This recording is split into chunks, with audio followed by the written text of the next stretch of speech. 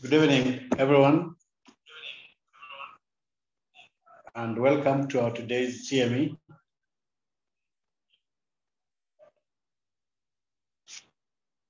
Our speaker is Dr. Wanga. Dr. Wanga, are you in the house?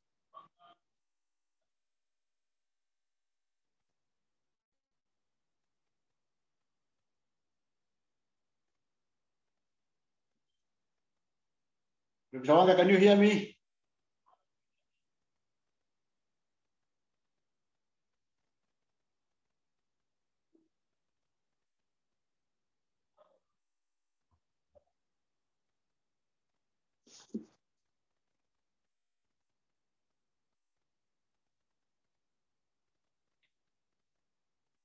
Irene, I'm not hearing Dr. Wanga. His microphone is muted. I'm trying to unmute him. Huh? Let me ask him to unmute his microphone.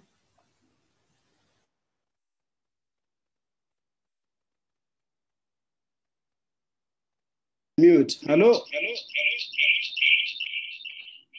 I, I, I think I Hello, can. Dr. Wanga. Also. Ah, welcome. Thank you, sir.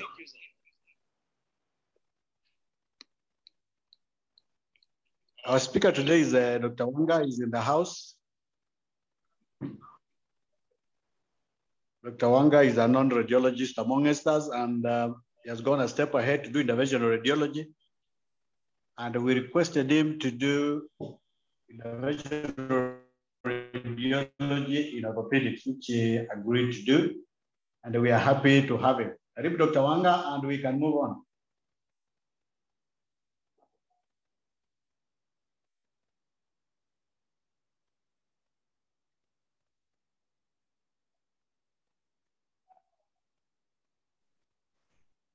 I hope Dr. Close you've heard me, sir. Yes, I can hear you now. Thank you. And uh, I hope I'm visible too. Are my slides seen?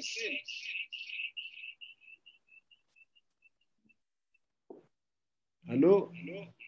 I can't see your screen yet.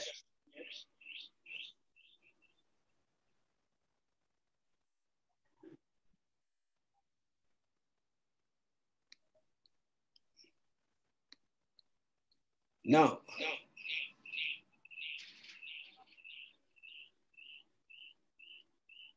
Hello? Hello? Good, good, good. Huh? But there- There's a lot of echo, but still I'm not seeing.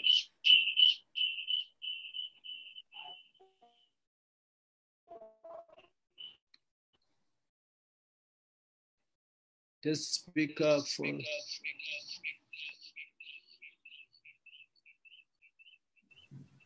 Bring that phone I told you. You might be calling us.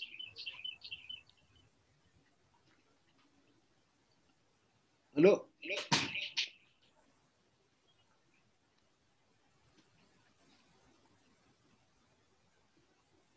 No. Please bear with me.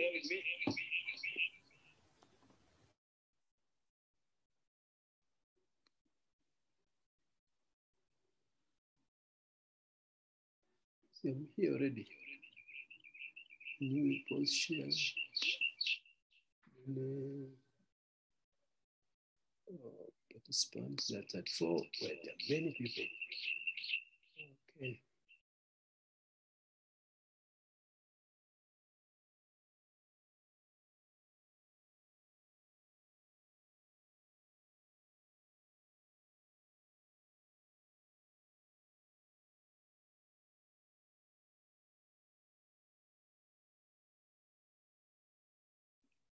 Oh yeah, I, I can. I, let me close one. Eh? I'll close one, but it's not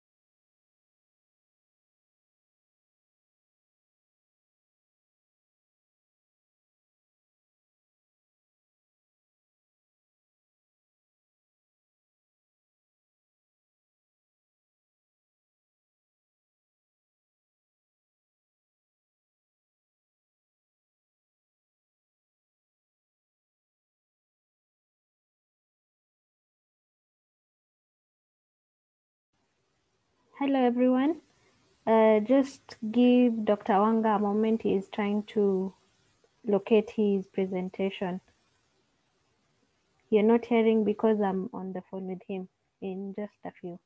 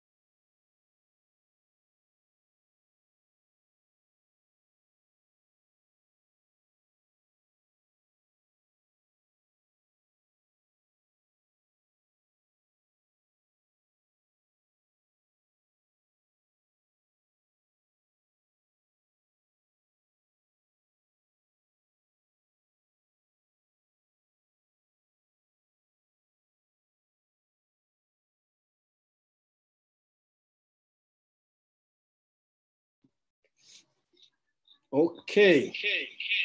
Good evening, gentlemen and ladies, colleagues. Am I audible?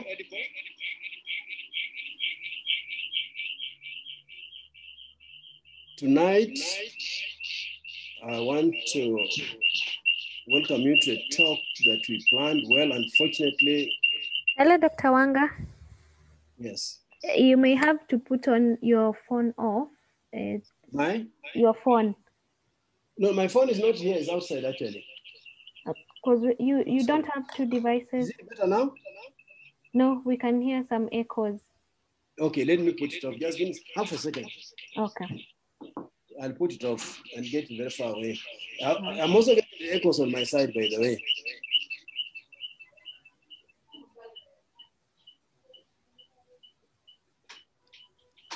Okay. Is that okay? Not yet. I don't have any other gadget here that I ascribe the noise to.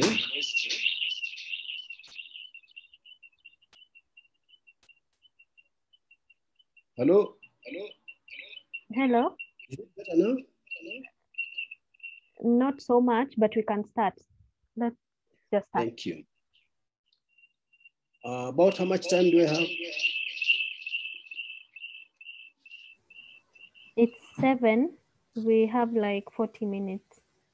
Well, I'll present in 25 minutes and hopefully discuss 15 minutes.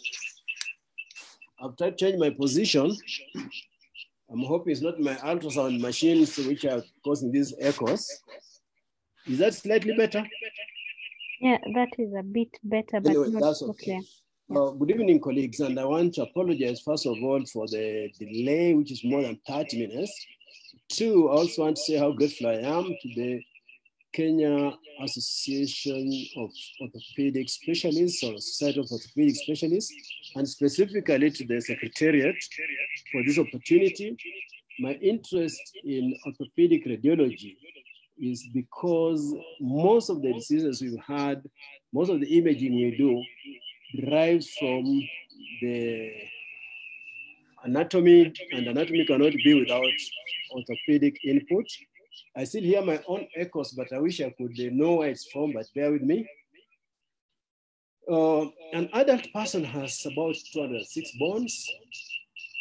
The skeleton is divided into major parts. One of them is the appendicular skeleton and then the axial. These are important because many of them have functions and also tumors have propensity to go to certain uh, bones, especially the flat bones. The five subgroups are um, long bones, which is like femoral shaft, the flat bones like the pelvic, the iliacs, short, irregular, and sesamoid. The muscles get attached, and the most important thing about the upright posture is that uh, the upper limbs give support and carry weight against gravity. The feet they keep us upright, and I think without uh, uh, overemphasizing the study of orthopedic radiology is so critical in our work. My interest in interventional minimally invasive image guided uh, therapies because we need to work in concert to be able to provide the best options in management of patients. We also know that if a, patient has got trauma, most of the organs we like to preserve will get injured. As you know, the skeleton uh, protects the brain, the heart, the lungs, the kidneys, and even the pelvis, the organs. Minerals are so important, and calcium and phosphate. Fat houses blood cell producing tissues of the body. So my idea in the overview of interventional radiology of orthopedics could go broadly on vascular uh, and non-vascular because when there's ischemia that changes, uh, there's no way that metastasis without circulation. But for tonight, we want to look at bone tumors. Next time we may look at Dr. the Wanga, hello. Let's go on. Uh, we can still hear more echoes. It's not so clear. What I'll do, Do you have earphones no, no, I don't have earphones. or What, what mic? I to do, I'll go somewhere where there's no imaging equipment because maybe my office has got some imaging equipment. Okay, maybe. Yeah, I think so. Let me just uh, uh, walk across and uh, we shall continue our talk. I hope so. Unless the machine is letting me down.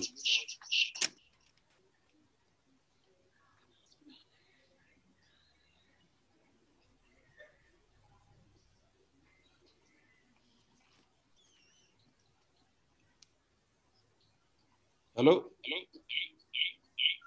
Oh, the echoes are still there. Yeah, it's still there. I think it would have had worked better if you had maybe We need to. earphones, whether you. I, I use earphones. hmm Okay. Yes. Give me a minute check if I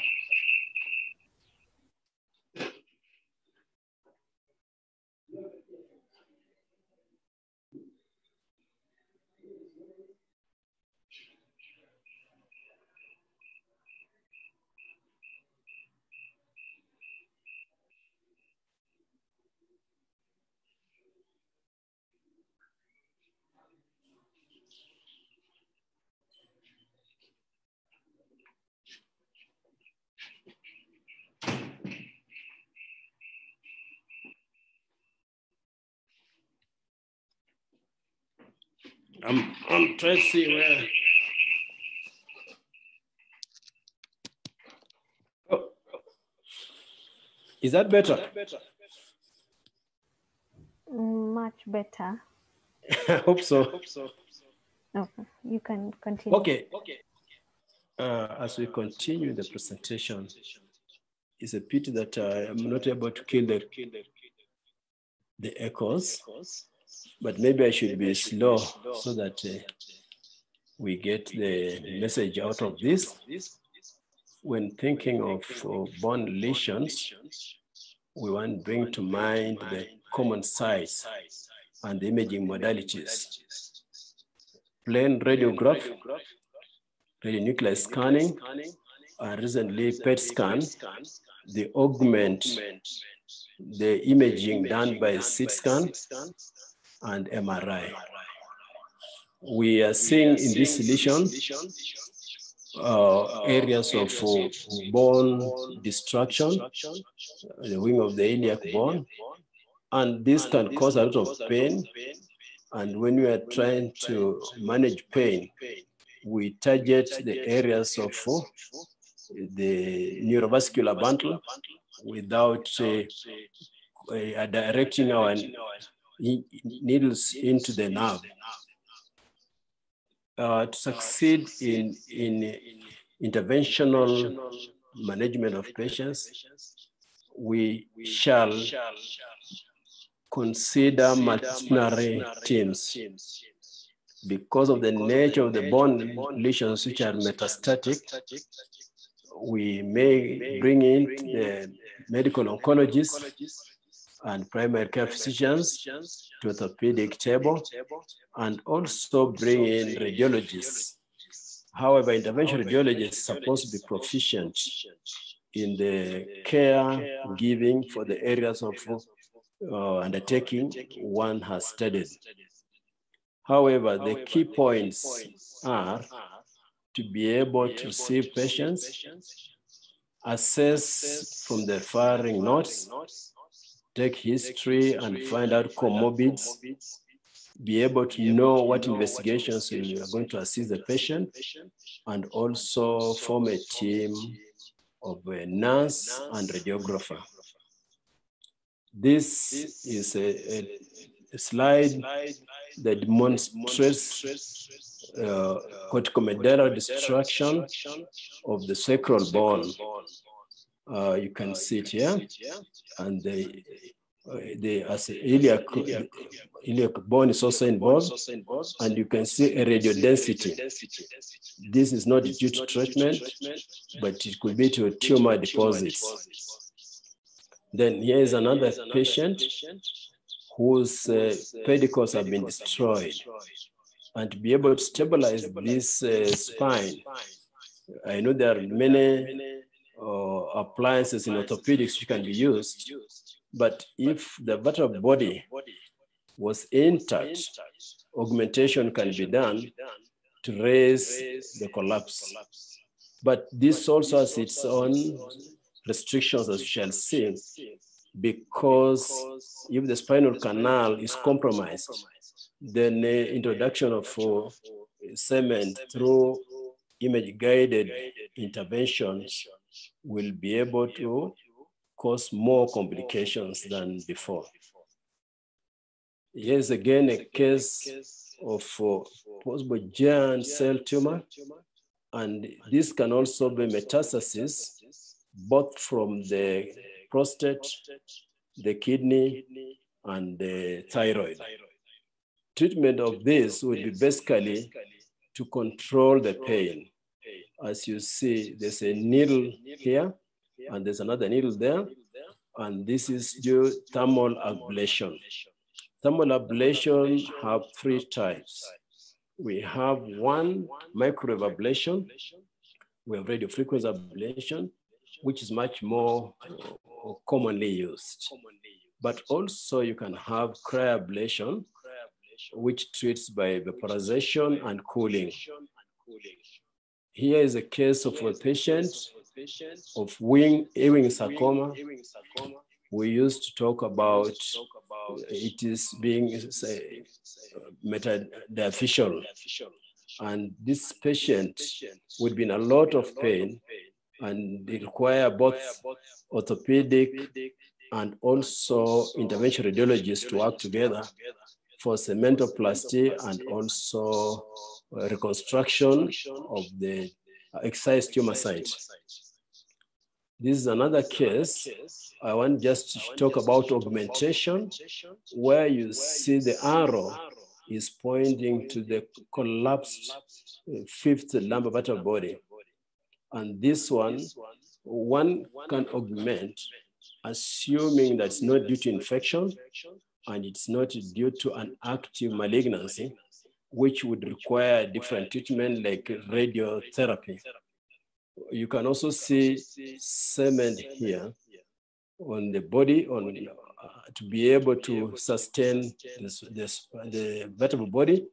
You can also see a needle which is used to introduce the cement material.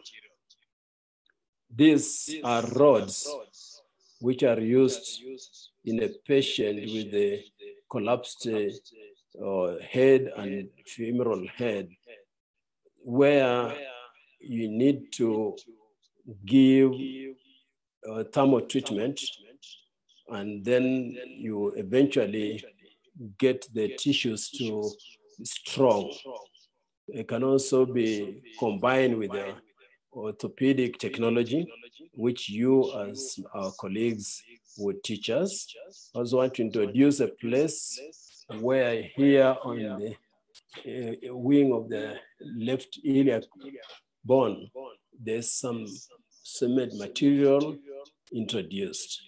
This cement material, if introduced in the disc, has one, I mean, rather the vertebral body, not the disc, never the disc. It will be able to protrude in subarachnoid space or cause arachnoiditis. So it's very important that we don't give it without proper training and also patient assessment. Uh, we've seen that. I want to go over a few factual issues which we need to bring to mind when dealing with the oligometastatic diseases and hope that at the end of this discussion, we can also explore applications of interventional radiology in both trauma and also cold orthopedic patients. We say that metastatic disease arises from the specific cancer cells, the breast, prostate, lung, and kidney. I would add here some are uh, osteolytic and others are metablastic. Now, osteoblastic ones come from the prostate, osteolytic ones come from the kidney, the breast and lung tend to be mixed. Multiple myeloma appears to be the commonest uh, hematologic uh, lesion, which here we call malignancy, and can also benefit from uh, vertebral body strengthening through cementoplasty. Axial skeleton, as I said before, is common. Primary lesions may affect the long bones, and the bone marrow microenvironment occurs as a reservoir of malignant cells, where the cells are supposed to penetrate the angiolymphatic basement membrane and get transported to distant organs. The tumor cells produce growth factors and cytokines, which activate osteoclasts, which disturb the balance between new bone formation and bone resorption, and therefore creating heaping up of primitive bone tissue. So this is something which is both uh, space occupying and also compromises the strength of the bone matrix. This uh, shows us a case of uh, multiple myeloma. You can see what they call osteolytic lesions on, on plain radiograph. You remember before you had the CT studies, we were taught about punched out lesions. And for people are looking more careless, eh, I mean, sorry, more carefully, if you look at that, the wall of the distal aorta, abdominal aorta shows wall calcification. So there's a problem with the calcium deposits and the metabolism. Uh, this is a good example of uh, where you are getting compromise of the spinal canal. Now, if we put cement, they could create more instability. And so it requires both uh, the combined approach where one may do laminectomy or uh, support only in areas where pain are uh, uh, aggravating the patient's condition and maybe reducing movement. This is also another case where a patient with a lot of pain, one would go through either the pedicle or parapedicle or transpedicle. Now, that one depends on whether we want to reduce the pain in the neuroforamina or because of metastatic lesions, which occur in the pedicles most of the time. And this one antenna may be sufficient, especially if the area of treatment is small. Such antenna are available in this country. Uh, radio frequency ablation has its advantages and microwave ablation too. As we move forward, there are other uh, uh, stereotactic body radiotherapy methods, which you should uh, look at because where we cannot use needles, then we need to do what they call SBRT.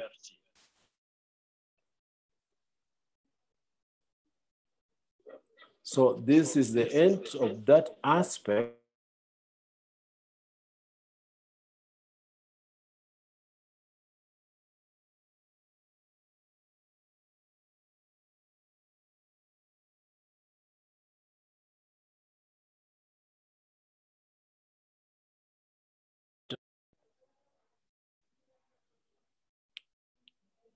Dr. Kilonzo, are we together? Yes, I think just continue, finish the Okay, thank you. discussion. we- Thank you, thank you, sir. Now, why I'm keen on image-guided spine interventions because many of our patients suffer osteoporosis. Others have lytic metastatic lesions. And when we're looking at uh, oligometastasis, the number of lesions should be three or less, three centimeters in diameter or less. But this definition has changed over time. Now you can even think of oligometastatic lesions numbering up to six, as long as each of them is about three centimeters. Then we talk of percutaneous vertebroplasty. This is the placement of an acrylic cement, which is made of polymethyl acrylate. Uh, during fluoroscopy, fluoroscopy is the use of uh, X-ray continuous imaging, and therefore it is also required to be of high quality so that the operators don't absorb unnecessary radiation. They also need to be monitored regularly and it's advised that uh, our orthopedic colleagues use radiation monitor badges because at the end of the day, we need to absorb only a number of uh, radiation units per year. And these are called the sieverts, but that, this is not the time for it. The reason why I, like to think about vertebroplasty is for pain relief.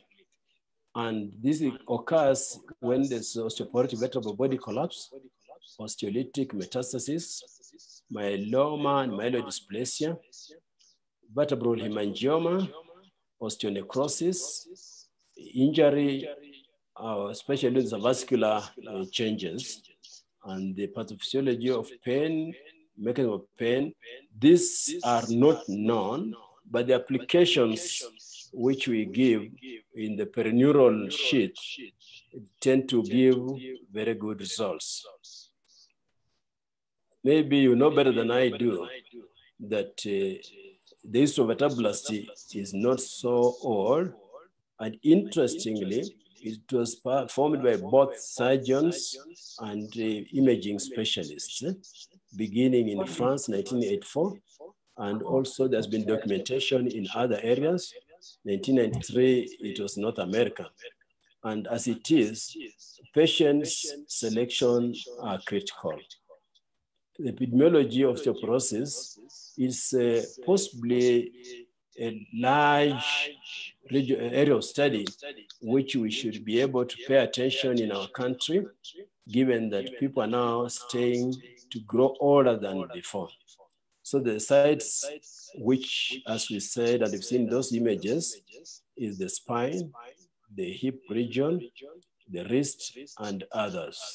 The wrist, you know, affects mostly people who use their hands, like dishwashing, washing clothes, and all that manual work, so to say. Now, we need to establish what happens when someone has severe osteoporosis, the amount of time spent in reproductive life is difficult.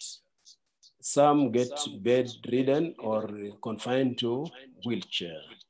And the pain is so much that if there's a single vertebral body or two, people can do what they call augmentation or vertebroplasty. But otherwise, the injection to control of pain or for the long acting steroids and the rest, it tend to work well for many patients. Also, exercises make some patients pain tolerable and less. So what is the long-term effect? We know that uh, someone sitting idle tends to have increased load on the vessel, vascular bed and also pulmonary function.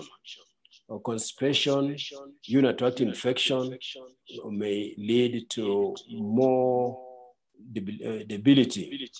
And this is where we like to say that uh, our orthopedic specialists will guide us in minimally invasive imaging to link and get policies where we can concentrate on these non-acute case or cases. So when we talk of vertebral body compression fractures, they are more interesting than osteoporotic. In osteoporosis, vertebroplasty of one vertebral body may actually cause a slip of the bone chips, what they call retro protrusion. Surgery, I know you know well, instrumentation, and you can also do vertebral, uh, vertebrectomy. The pain clinics are there, radiation, metastasis, and radiation therapy. We talked about stereotactic body radiation.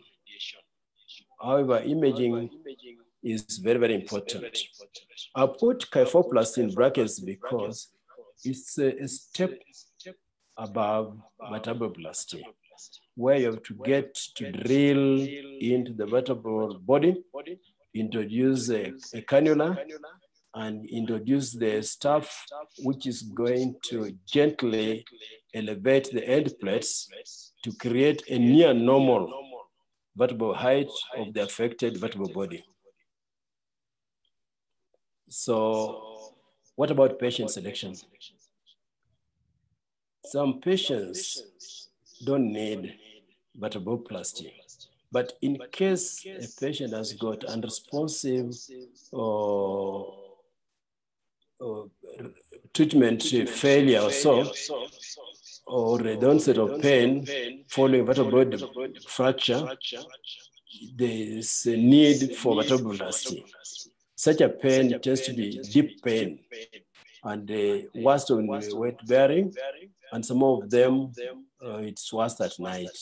because now you've stopped moving and the feeling continues.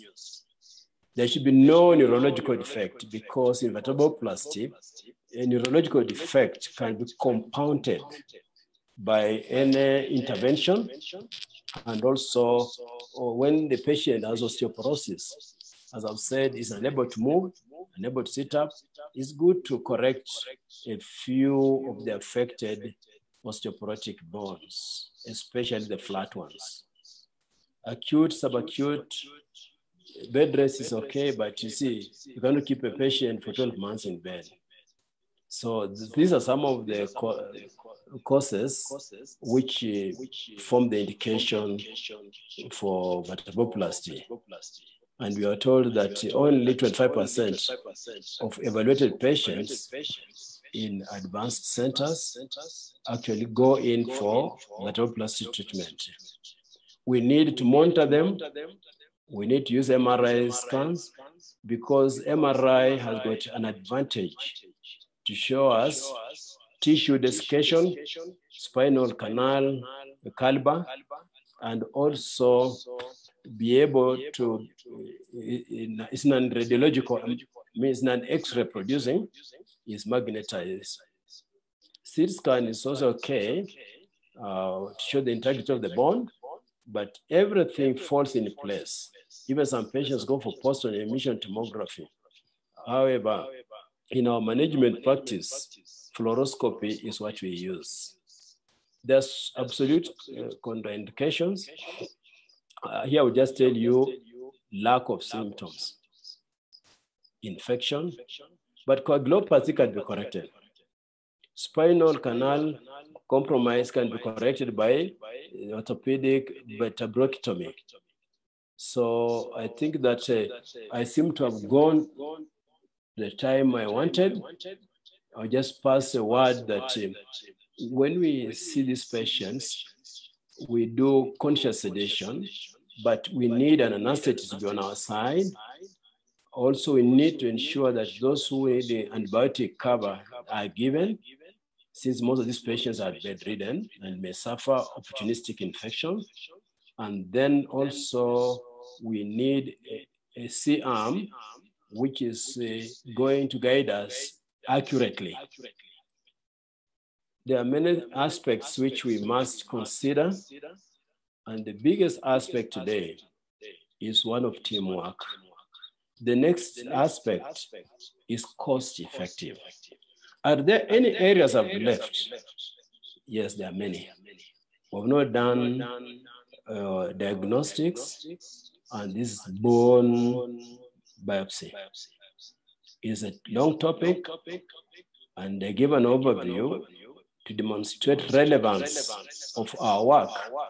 And of course, my center of great interest to join the team that is giving the best care to our patients in trauma and others with bone lesions, including metastasis.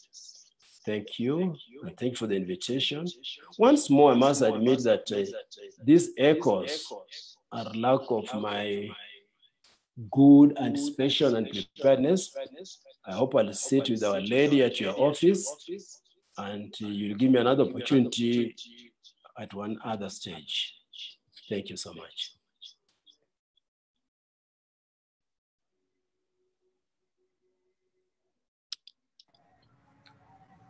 Thank you very much, uh, Dr. Wanga, for the talk. Uh, let me see if any questions have been posted.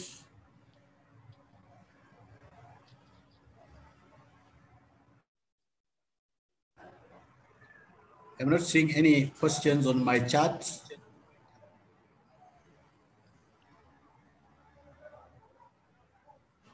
Anybody with a question can raise up his hand. Hello.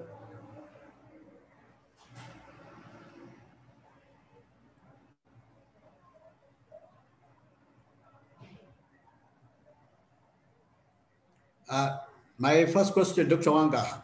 Yes, How sir. much will it cost to do a vertebral plasty by an interventionist? Uh, lo- locally, I think we have two aspects. The intervention radiologist factor and the hospital factor. The intervention radiology should not cost more than uh, uh, $200. In other words, if a doctor gets 25,000 for doing fluoroscopy and managing pain, is okay. Now, the next thing is the consumables, especially cement and needles. Those ones could cost another uh, 300, no, no, $30. I'm thinking of uh, making it in Kenya shillings. If the hospital, the doctor, and work under 100,000, I think the patient will have a lot of relief.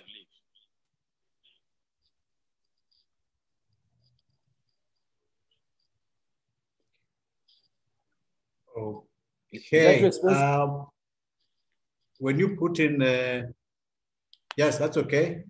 Yeah. Uh, Any other question?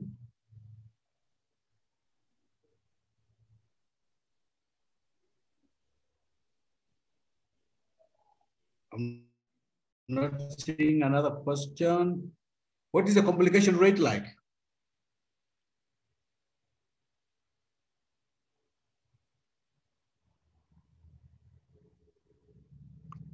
Wanga? What's the complication rate like? Oh, the complication rate can go up to 10 to 20%, and that's very high. When we discuss about the best standard, best practice requires careful selection of patients. The site of uh, treatment should not have no evidence of active infection. We should give prophylactic antibiotic depending on where we are. Uh, centers outside of uh, Africa, they talk of uh, tobramycin, but here we might talk of Rocephin, clindamycin, or something. So the infection rate is high.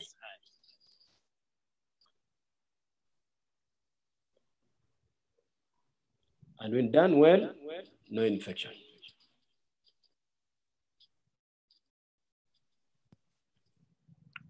Okay. Please, if you have any question, you can raise up your hand or put it on the chat.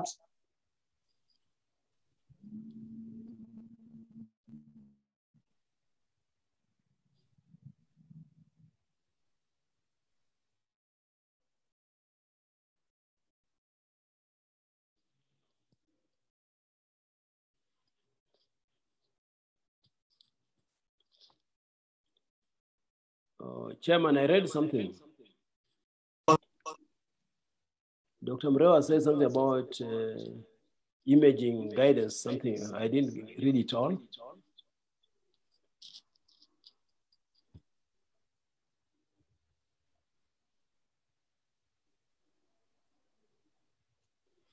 You can read the question?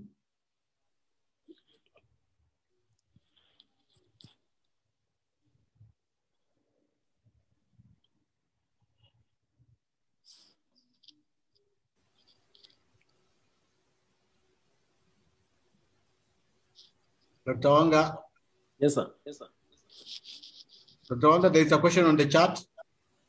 Oh, What's the proportion of image guided biopsies that give positive U? okay. Uh, in terms of image guided biopsy, the yield depends on the availability of bone biopsy needle.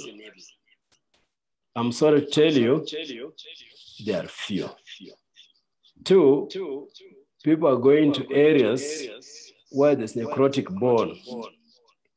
Tumor growth is on the margin, and the margins are tend to be a bit hard if you don't have appropriate uh, needle cutting uh, suitable for the bone. We use gauge one, gauge 11 to gauge 14. Uh, I want to think that uh, we must be frank and say two things. One, don't do bone biopsy when you know the orthopedic surgeon's intervention route is different. So you meet with him and say, when you finish this bone, how do you want to go about it? So that your route does not cause seeding. Peter, the trouble you have, sir, is that um, we don't have sufficient supply of bone biopsy needles. Two, we have not involved our anesthesiologists to find it palatable to give us sufficient pain management.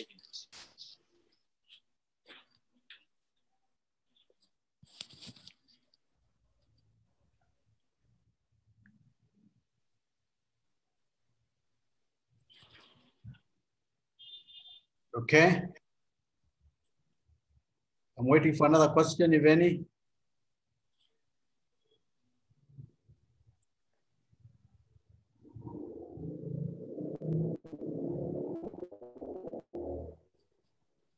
Fine, in the absence of any, oh, Dr. Museva has a question. how are your results in spine multiple myeloma and metastatic spine lesions? Sir, I've not, I've not done one, but I've done vertebroplasty Yes. for trauma only.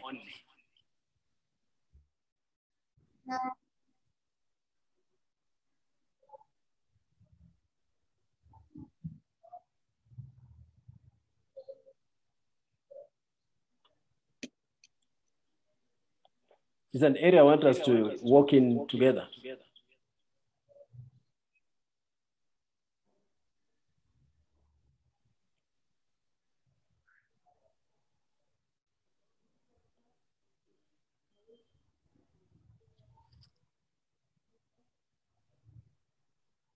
I don't hear your answer, Dr. Wanga, on this one. Sorry, sir. Sorry, sir.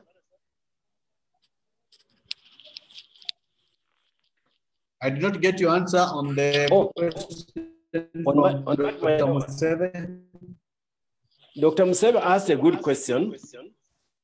The results on vertebroplasty of multiple myeloma, then I answered, I've not been able to see or manage one. Point number two, I said, I've handled patients of trauma, especially of chronic nature. And this has been to do bone management, I mean, bone, bone pain control and uh, uh, cemento introduction. But as I said, the needles are few and we can't risk our patients. Finally, I would like us to work in as a team because this is something which is practiced by even uh, trauma and orthopedic specialists.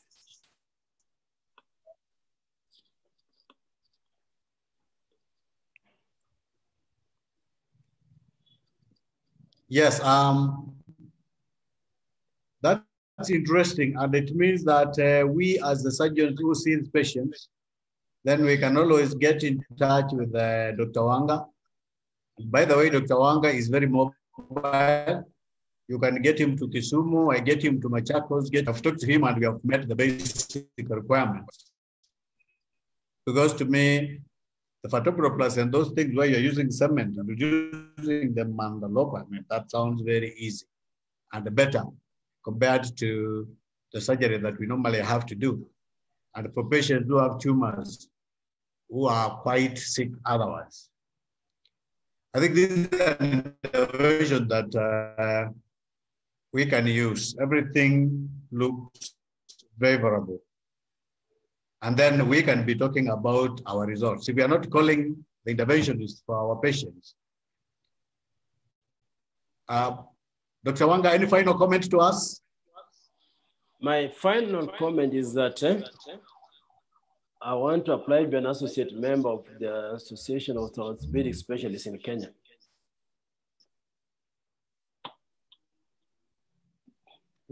Two, we like to give more talks based on the interest of our colleagues who are members so that we can go into in-depth.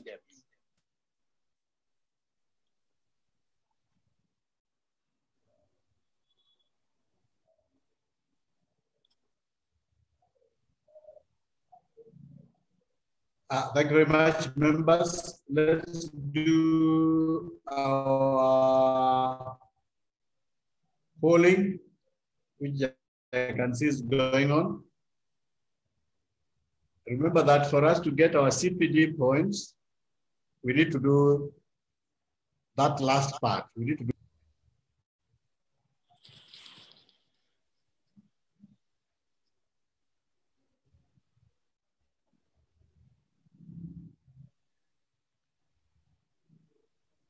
as we go on, let me remind our members that uh, we shall be having a monthly grand round. It will be led by the residents. It will be on rotational basis. Soon we shall post the timetable as to who is starting and when. We shall see whether we can do one this month and uh, for every one or two consultants to preside and guide the discussion.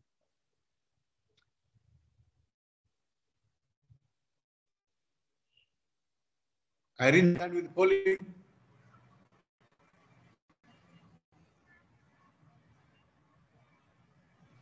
We can give 20 more seconds. Okay, let's hurry up. Let's hurry up.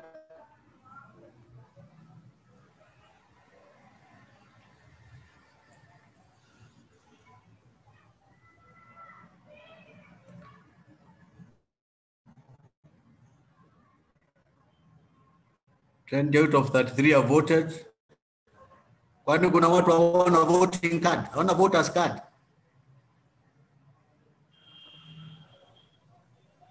We can we can go with those 21. We can go with this. Good. Thank you very much. We can close it. So on behalf of uh, KOA, I wish to thank uh, Dr. Wanga for agreeing to be our facilitator today. Dr. Wanga, we are happy to have you. Uh, and at that, I would like to bring the meeting to a close. And I thank everybody who attended uh, this talk. Thank you very much and have a good night.